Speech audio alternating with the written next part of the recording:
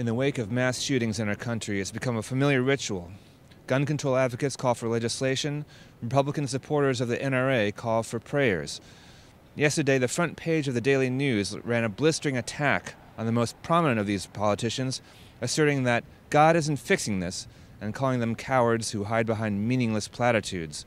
Outside Holy Name of Jesus Church in Windsor Terrace, I asked passersby if they subscribe to this point of view. Though the cover has generated anger among people who feel it mocks religion, Catholics I spoke to, including this man, were generally unfazed by the irreverence of the headline. You know, you have to be able to bear arms, but you, you can't just go out of control and just, all right, I'm going to pick up an AK-47 and do whatever I want. I can't, you know, come on.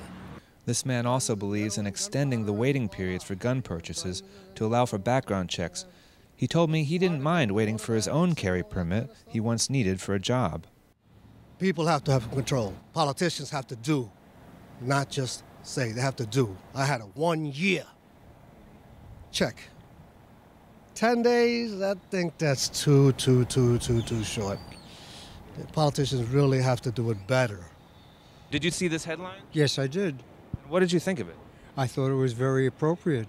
God isn't fixing a problem. God didn't cause the problem. We caused it, you and I.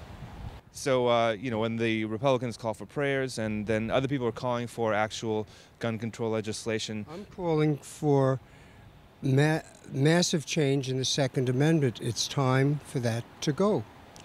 The founding fathers never meant for this to happen. So, what is your reaction to that headline? Well, prayer is wonderful, and, and prayer will work, but we have to have a little more action than prayer. There, has got to be something done about this. Uh, uh, maybe we have to limit the amount of ammunition that people can get if we can't stop the, the gun trade. Maybe we can just stop the ammunition, and maybe that will go in the right direction. But yes, prayer is good, but we need more than prayer. As our country grieves and wrestles with the recurring horror of mass shootings, it seems in this local sampling of people, prayers are not a substitute for action.